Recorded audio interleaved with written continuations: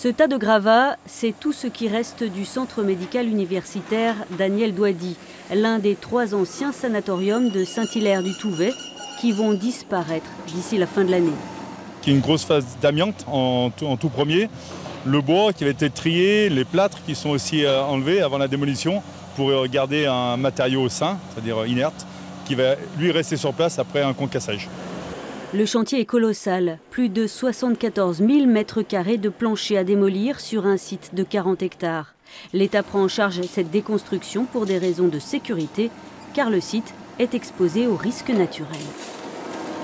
On a eu des avalanches historiques exceptionnelles hein, qui sont rentrées dans les bâtiments. Donc heureusement, il n'y a jamais eu de mort, mais euh, plusieurs fois, les halls ont été dévastés à cause de ces avalanches. Il y a une dizaine d'années, les centres de soins qui avaient remplacé les sanatoriums ont déménagé dans la plaine. Et sur le plateau, les bâtiments laissés à l'abandon ont été squattés et pillés.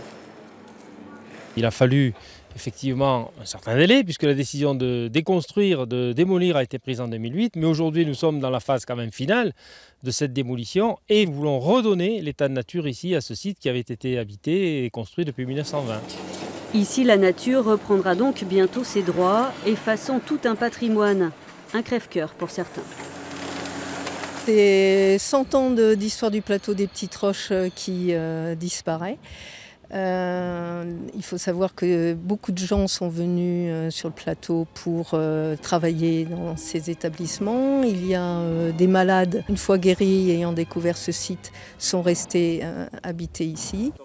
D'ici la fin de l'année prochaine, le site aura retrouvé sa physionomie du début du XXe siècle. Il sera alors rouvert au public.